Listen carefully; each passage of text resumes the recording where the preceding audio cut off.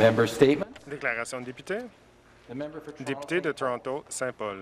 Aujourd'hui, je prends la parole pour chaque personne à Saint-Paul qui n'a pas été protégée par la CESPAT, pour chaque travailleur blessé comme Jana, qui a lutté pour avoir des prestations, toutes les difficultés, les troubles auxquels elles ont été confrontées, avec plusieurs preuves de la part de médecins, spécialistes, des thérapeutes, et on lui nie quand même ses prestations. Elle a été blessée en 2014 et à partir de 2019, elle n'avait toujours pas reçu une seule somme de la part de la CESPAT. Et la CESPAT prétend qu'elle peut continuer de travailler, même qu'alors que les spécialistes disaient le contraire. La CESPAT a menacé de réduire une de ses prestations si elle n'allait pas à une évaluation en personne en plein milieu d'une pandémie alors que les travailleurs de la CESPAT travaillaient à partir de la maison. Sept ans et demi après s'être blessé en milieu de travail, Janet a toujours la difficulté à avoir euh, des sommes d'argent, des prestations de la part de la CESPAT. Le gouvernement a envisagé la CESPAT pour protéger les employeurs et non pas les employés. Non seulement est-ce que cela nuit à tous les employés, mais aussi à leurs familles.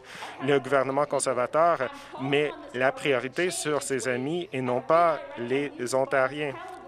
Je demande à ce gouvernement d'ordonner à ce que la CESPAT verse des prestations aux personnes, aux travailleurs blessés, et non pas de verser des euh, profits à le- les amis du Parti conservateur et au directeur de la CESPAT. Merci. Déclaration de député, député de Haldeman-Norfolk. Merci. Euh, de continuer sur le travail de euh, notre approche de la ceinture de verdure, je propose qu'on envisage de l'élargir la ceinture bleue dans euh, Port-Over. Il est grand temps qu'on protège la ceinture bleue, selon un journaliste, une journaliste de ma région. Elle propose de protéger les Grands Lacs et toute l'économie. Cette proposition suggère euh, beaucoup des mêmes protections pour l'économie des Grands Lacs et- des sources euh, et chaînes d'alimentation, et tel que c'est le cas avec d'autres terres euh, essentielles. Elle propose d'élargir la loi pour aussi protéger, d'encourager le développement et l'amélioration des pêches en Ontario. Elle propose aussi d'apporter des modifications au zonage pour protéger les commerces de l'eau et les commerces qui dépendent sur l'eau et d'éviter certains types de développement, ce qui comprend des développements résidentiels et commerciaux qui n'exigent pas d'avoir accès à l'eau, de, euh, d'empiéter sur les cours d'eau. J'ai proposé un projet de loi pour protéger les grands lacs et avec le concept de, de la ceinture bleue, et on peut ouvrir la porte à, des gestes concrets pour euh, la protection de notre environnement. Merci. Député de Kiwetanung. Miigwech, Monsieur le Président, la semaine dernière, j'ai eu l'occasion d'aller euh, et de passer du temps à Kitchenawak, euh, qui est un, territoire du traité neuf. En 1929, les commissaires sont allés à KR euh, pour signer le traité numéro 9 on a utilisé la phrase qu'on on allait prendre soin des autres. Et c'est ce que les propriétaires se souviennent des discussions en 1929. Les propriétaires ont compris les droits qui ont découlé de cette promesse de traité et ils savaient que c'était sacré et on devait les respecter. Cette phrase de prendre soin des autres, comment est-ce qu'on peut réconcilier ce concept avec les avis d'évolution d'eau, la pauvreté, les manques de financement dans les logements et le, de retirer nos enfants, les hauts taux de suicide et euh, un manque de reconnaissance des droits des territoriaux. Ce ne sera jamais acceptable, Monsieur le Président. Ce n'est pas ce que nos ancêtres ont signé comme traité d'être soumis à la pauvreté sur nos terres. Ce n'est pas ce qu'on a signé comme entente. Il est grand temps que le gouvernement de l'Ontario et du Canada qui se rendent compte de quoi il s'agissait lorsqu'ils ont fait ces promesses à l'époque. Merci. Merci. Déclaration de député, député d'Oxford. Merci, Monsieur le Président. Monsieur le Président, au mois d'août, on m'a avisé la mort de Margaret Mackay à, sa maison de Toronto. Elle avait 102 ans. Margaret était la dernière petite enfant de Reverend Mackay. Et George Leslie Mackay est célébré ici en Ontario et au Taïwan et, il a été le premier missionnaire euh, à ce pays.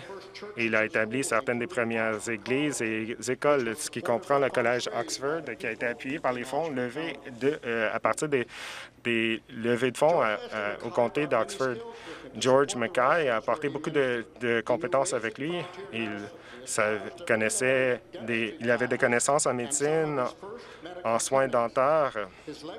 Il a établi certaines des premières euh, cliniques là-bas et on peut encore voir son legs avec euh, un centre hospitalier et des églises.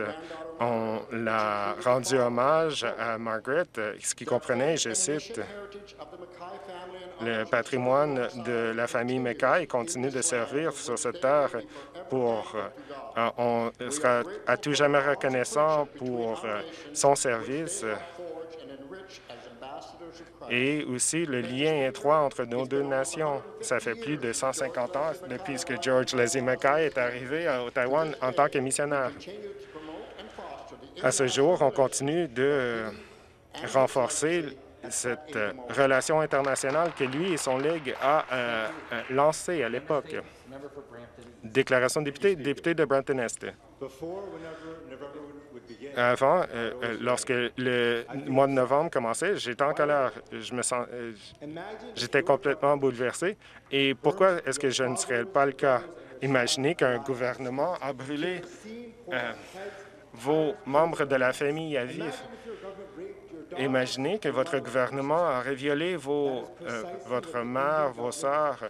C'est ce que le gouvernement indien a fait pour les Sikhs en 1984. Et moi, je suis né en 1984. Donc, chaque année qui passe, ça me rappelle euh, le fait qu'on n'en a pas fait suffisamment pour les survivants qui vivent encore sous le seuil de la pauvreté. On n'en a pas fait assez pour lutter pour la justice et pour euh, connaître toutes ces personnes qui ont été tuées. Et c'est pour cette raison que je suis plus en colère. Je suis tout simplement triste. Et c'est pour cette raison que je vais toujours dire n'oubliez jamais le 1984 jusqu'à ce qu'on puisse reconnaître le génocide sikh et qu'on puisse avoir justice en tant que sikh. Des agriculteurs partout en Inde ont fait des manifestations pour la privatisation des terres aux mains euh, du gouvernement indien. Ça fait des années qu'ils manifestent. Ils ont fait face à toutes sortes d'intempéries et c'est pour cette raison que je continue de demander à nous tous d'appuyer les agriculteurs, parce que lorsqu'il n'y a pas d'agriculteurs, il n'y a pas d'aliments et de nourriture. Merci. Merci.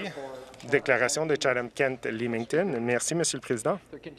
Il continue d'y avoir plus de preuves concernant des médicaments réutilisés pour lutter contre la COVID-19 et c'est en fonction de plusieurs tests cliniques et des données probantes, ce qui comprend des expériences de plusieurs médecins aux premières lignes à l'échelle internationale. Des médecins partout au monde se sont réunis à Rome pour un sommet sur la COVID-19 pour euh, connaître un traitement et de partager ce traitement avec euh, la communauté internationale des, des médecins thérapeutiques et de ne rien faire euh, mène à ce que le, virus se reproduit euh, euh, sans borne et malheureusement, c'est une approche qu'on suit ici en Ontario. Et on prodigue un médicament qui entraîne des problèmes de foie et de rein, et l'OMS a dit que c'était un moyen thérapeutique qui n'était pas efficace. Des méthodes plus efficaces de renforcer son système immunitaire, comprend la prise de certaines vitamines, telles que la vitamine D et C. Donc, ne, ne créons pas une société à deux paliers avec ceux qui sont vaccinés et non vaccinés. Pourquoi est-ce que les protégés doivent être protégés des non-protégés? En utilisant les non-protégés d'être protégés et pour quelque chose qui ne protégeait pas ceux qui ont été protégés d'emblée. Député de Kitchener-Conestoga. Merci. C'est le centième anniversaire des Canadiens qui portent le coquelicot pour reconnaître le sacrifice des anciens combattants. Le 11 novembre, lorsque je suis devant le Cénotaphe, ça me frappe que ce que je dois faire euh, en tant que représentant est possible seulement grâce à ceux qui ont fait le, sacrifice ultime. C'est eux qui, se sont dressés debout devant le totalitarisme. C'est quelque chose qu'on doit tous se rappeler. Dernièrement, je me suis joint des bénévoles du comté de Wesley. Lorsqu'ils ont appris que c'était le centenaire cette année, ils ont, décidé de lancer un projet. Karen Palakti euh, Wendy Richardson et Barb Pollack ont tricoté des coquelicots pour euh, une exposition avec plus de 2000 coquelicots qui ont été créés par tout le comté et des approvisionnements qui ont été euh, donnés par Home Hardware. On a dévoilé le projet vendredi dernier. Je voudrais remercier tous ceux qui ont donné du temps, des biens et de l'argent pour cette exposition. En honneur des anciens combattants, je voudrais aussi euh, remercier notre premier ministre et notre ministre d'avoir déposé une loi pour protéger les droits des travailleurs de porter un coquelicot. Je ne comprends pas pourquoi on a besoin d'un projet de loi comme celui-ci, mais je vais l'appuyer pleinement pour s'assurer que tous les Ontariens ont ce droit protégé de pouvoir reconnaître nos anciens combattants. Merci. Déclaration de député, député de Sudbury. Merci, Monsieur le Président. Le sommet COP26 réunit tout le monde pour agir euh, envers un but commun de s'attaquer au, climat, changement climatique. La CNN l'a décrit en étant notre dernière meilleure chance de lutter contre les changements climatiques. La crise climatique est la plus grande menace auquel on est confronté inspire nos communautés pour trouver des moyens de lutter contre cela. elle pense, Sophia Matheson pense qu'on doit écouter les experts. Sophia était la première fille à l'extérieur de l'Europe de euh, participer au mouvement des jeunes. Elle a rencontré Al Gore et Greta Thunberg. Sophia à, au, à Sudbury, à Ottawa, ici à Queen's Park, pour euh, manifester et se faire entendre. Elle est la plaignante en chef pour, contre le gouvernement d'avoir réduit les cibles du, de 2030 du gouvernement ontarien. Elle a été célébrée euh, par les magazines Nature et elle sera une parmi six autres pour le documentaire avec le prince Charles et le premier ministre Boris Johnson. Sophia Matheson inspire des jeunes partout au monde. On doit l'entendre et euh, agir. On est très fiers de tous ses accomplissements et je lui souhaite euh, meilleurs vœux à l'avenir. Et en tant que représentant ici euh, dans cette Chambre, je continue de l'écouter. Merci. Déclaration de député, député de Don Valley euh, Nord. Merci, Monsieur le Président. Ah, comme le premier ministre l'a toujours dit, grâce aux Ontariens, nous voyons moins d'infections de la COVID-19 comparé à d'autres régions urbaines en Amérique du Nord. Monsieur le Président, le plus grand contributeur à ce grand accomplissement, c'est notre haut taux de vaccination. Mais par contre, dans la région de Don Valley Nord, le taux de vaccination est faible à 73% seulement comparé à la ville de Toronto et la province. De, ainsi, j'ai lancé une campagne de sensibilisation pour les mères. On a euh, distribué des dépliants à tous les ménages et aussi dans des entreprises et des centres communautaires. J'espère que grâce à ces efforts combinés et grâce à notre stratégie du dernier mille, et aussi tous les efforts qu'on met en place, tels que les centres de vaccination mobiles, nous, nous allons pouvoir nous rappeler, rattraper à la moyenne provinciale et continuer de protéger les Ontariens, les gens de dans le Valley-Nord.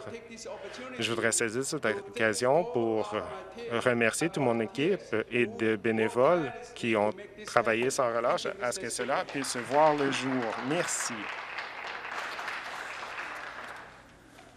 Merci beaucoup. Cela conclut le temps que nous avions pour les déclarations